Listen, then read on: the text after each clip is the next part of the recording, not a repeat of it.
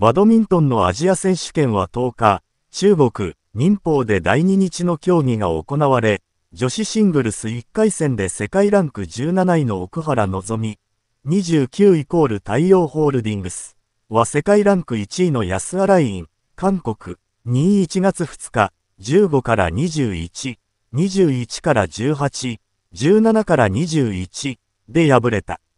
今大会は五輪選考レース最終戦、初戦で姿を消した奥原はパリ五輪出場が絶望的となった。第1ゲーム、奥原は序盤リードを奪ったが、4連続失点で逆転を許し、サイドを狙った安原インの正確なスマッシュを拾いきれず15対21で落とした。第2ゲームも0の1から5連続得点で序盤主導権を握りながらミスの少ない安原インに追い上げられ8-8の同点に。13から13から立て続けにドロップショットが決まり16から13と突き放したが、4連続失点で逆転される。しかし終盤は粘り強くつなぎ、相手のミスを誘い21-18で奪い返し、ゲームカウント1月1日とした。第3ゲームは先行を許す苦しい展開。疲れからか足が動かず、相手のラインサイを狙ったショットについていけなくなる。それでも10の17から4連続得点で追い上げ、1失点を挟んでさらに3連続得点で17から18と1点差に。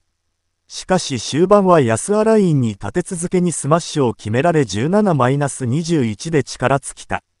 パリ五輪の女子シングルス出場枠は各国最大2、23年5月1日から24年4月28日に開催される国際大会のポイントによるパリ五輪ランクで各国代表が決まる。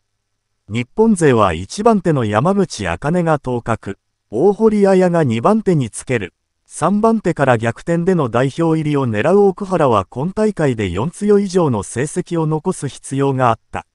奥原は初出場の16年リオデジャネイロ五輪で銅メダルを獲得。2大会連続出場の21年東京五輪は準々決勝敗退。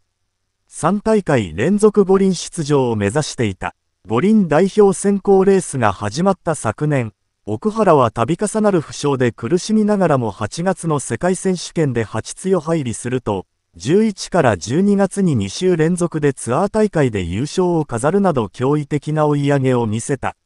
しかし今年2月のタイマスターズ、3月のフランスオープンで大堀との直接対決に連敗。厳しい立場に追い込まれていた。